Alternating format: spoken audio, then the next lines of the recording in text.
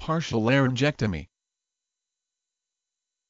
Partial laryngectomy, a surgical procedure on the voice box designed to preserve the voice. The surgeon removes part of the voice box, one vocal cord, part of a cord, or the epiglottis, and leaves the rest. The stoma opening tracheostomy into the trachea, most often, is temporary. After a brief recovery period, the tracheostomy tube is removed and the stoma closes up. The patient can then breathe and talk in the usual way. In some cases, however, the voice may be hoarse or weak.